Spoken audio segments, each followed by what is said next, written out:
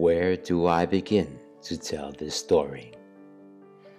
The story of a journey between two friends from different cultures, from thousands of miles apart.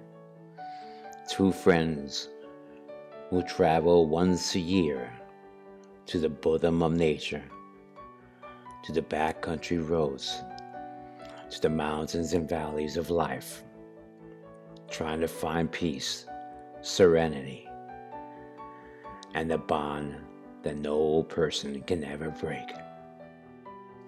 Two friends on an incredible journey. So we're leaving uh, the springs. Um, and as Betty Osceola will tell you, doesn't make a difference what temperature is out there. It could be super hot or it could be freezing cold. There are always mosquitoes that come after me. Every single time. Bester got me in the ear. For hot, not Didn't so get much. any mosquitoes. They don't like curry flavor. I mean, you know, another thing, I'm wearing light colors. Why don't you say that too in the video? That you were wearing a black t-shirt, Black t-shirt. which is actually a mosquito magnet. A what? Mosquito magnet. A what? Yeah. Alright. Onward to Georgia we go.